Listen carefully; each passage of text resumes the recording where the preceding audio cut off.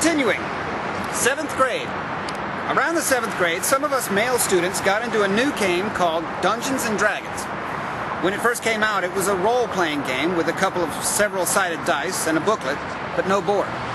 Not having the constraints of a board to play on and within inspired a lot of young people who wanted to think beyond that. It played on the imagination and not the appeal of the imagination of the writers of the game. This was in the early 80s and video games were coming into real popularity. We rarely had money or access to video games, as they were still all at the convenience stores and arcades. But we could take a booklet, some dice, and a pad and pencil anywhere. So we took all that with us to recess and played. It was me, Nolman, Jacobson, O'Reilly, and Foreman, and sometimes Jimmy, though he didn't much enjoy intellectual pursuits. We took our game to the steps of the back wall of our seventh grade classroom out in the parking lot. We had to be secluded from the other kids making so much noise on the field or in the bleachers. In Dungeons and Dragons, we could be larger and more powerful than just Catholic schoolboys. We hunted and stalked and hid out and then jumped out and pounced on any unlucky travelers along our path. We collected their gold coins and jewelry, if they had any, and rejoiced as a band of merry thieves should. Whenever an ogre or a demon came along, we would have a problem. We managed, though, a great quality of that game is that you can play out a scene in slow motion and really analyze and plan your situation much better. Having options greatly appealed to us. We weren't used to that. If a problem arose, we'd have time at least until recess was over to organize, theorize, strategize, and initiate a group effort aimed at some heroic Middle-earth success. I felt that games like that, that really make you think, were better by far than the religion that was being indoctrinated into us. The Bible contains talk of a variety of mythical creatures as well, but the real focus in that book is the people. Well, we were bored with people, especially religious people, who were very predictable. The Bible also included so many horrific acts against other people, atrocities without reason, and even as a kid, I knew that made for a bad story. We had to pretend to embrace that bad story every day. I learned to be an actor because of this without any formal training. I thought this school had to be like college for acting. Every day was an exercise in careful, focused dishonesty. We had to escape dishonesty, and we found that fantasy was an interesting replacement. I ignored the obvious similarities between the two, however. My mother once bought me a book about a space traveler who visits other planets and risks life and limb. This book was unique, though, because the reader got to make decisions for the lead character. It would say, if you want to see our hero jump through the plate glass window to escape, possibly causing himself further injury, turn to page 9. If you want our hero to stand and fight, turn to page 10. And page 9 would continue the story in a more frightening and thus shorter-lived direction. Page 10 would continue the story in a way that would lead to more options. The whole book was like a small pocketbook, very convenient to carry. It contained around a dozen options, each with two resulting directions in the story. That may not sound like much in the way of options presented, but when you're a kid and you spend most of your time being obediently silent and still, any options are welcome. We almost didn't know what to do with decision-making freedom over ourselves. We needed practice. Looking back, it was very odd that we played that game out in the open without any complaint from anyone. The nuns and priests all knew, and the principal and the lay teachers all knew, it didn't seem to relate to the stories in the Bible, or at least we didn't recognize any correlations. That's probably because they didn't want to focus much on the satyrs and dragons and demons that are in the Bible. We spent years attending masses in and out of school time, and there were only two places designed for those masses the church and the liturgy room in the school. There was only one mass I can recall that took place outside of those two places. For a few weeks during school time, the church underwent some renovations the inside only and only around the altar area, but it was a lot of work, and it made a big mess in the church. So for one school week mass, we were all herded into the gymnasium. Hundreds of folding metal chairs were set up in the gym, and all facing one way. We filed in with the rest of the school and took our seats. It was nice to have my own seat for a mass, even if it was a hard and cold brown metal folding chair The priest wore the same colorful ceremonial robe we would see him wearing during masses in church. It seemed out of place in the gym, though. There were no candles, no statues, no gold, and there was no incense. But there was a lot of light. I remember thinking that the gym made a great place to have a Mass, since we could really think clearly there compared to when we were in church. The church was designed to have a solid psychological effect on pew occupants. The gym was more practical. It smelled like a gym and not a church. The Mass was long and boring and pointless, like all other Catholic Masses I ever attended. But I also made this Mass one to remember. In all the years I attended Masses, I never saw anyone drop the host. I saw a lot of funny things happen to hosts, but not that. It seemed like a mortal sin to drop Jesus on the floor, but I did it. We were in line. When it was my turn, the priest said the standard whispered call, the body of Christ. And I said the standard reply, Amen. Then he put the host into my hand and I dropped it onto the gym floor. The priest actually got down and picked it up for me, which was difficult. It was like picking up a penny off the sidewalk. It's hard to get hold of something so flat and flush to the ground. The priest seemed to take forever to pick Jesus up. I looked around, stunned, and saw that several other people had seen my error and were now stunned as well. I even heard at least one gasp. The priest finally got Jesus off the floor and repeated the whole process. The body of Christ again, and Amen again. This time I got it right. I wasn't about to let Jesus get away from me this time. I crammed him inside my mouth and chewed with a vengeance. He wasn't going to escape this time. This probably seems odd to anyone who has never been a Catholic or belonged to another host addicted denomination. Hell, it's odd to me. Bizarre, in fact. But we live the very physical life of religious Catholicism. Dropping the host was a serious error, yet it didn't earn me any trouble with the priest or teachers. Apparently, humans can make mistakes while holding the only perfect person in their hands. The change from host to ritual body of Christ means that the consecrated host is very special. You don't just drop it.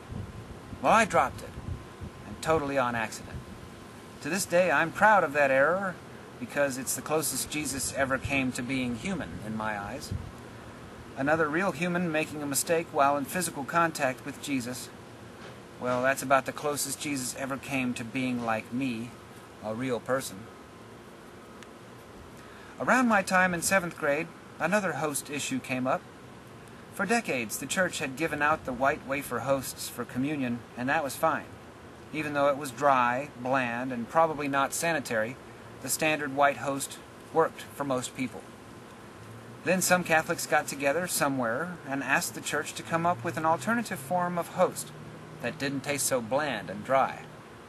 Something that didn't conjure up feelings of apathy towards the supposed value of that little host. So the church made up a new form of host. This was a breakthrough, we thought.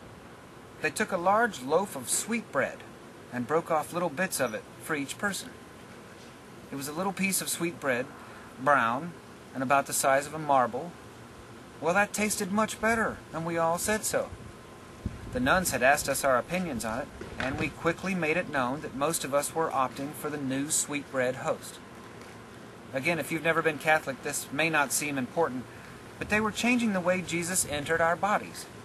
They changed the form Jesus took, essentially. They changed Jesus for us, because we didn't like the version of Jesus before. It was nasty, some said. The church changed something that important because some parishioners asked for it. That is an amazing thing. Eventually, we students had discussed this change amongst ourselves, and we discovered that most of us preferred the new host. We figured they may have to plan ahead for this popularity shift and buy more sweetbread than they expected. The buying and selling of religious articles eluded us, as it was done almost in secret. We only saw the finished product, we all quietly thanked the little old lady somewhere who we were convinced was making this tasty new host.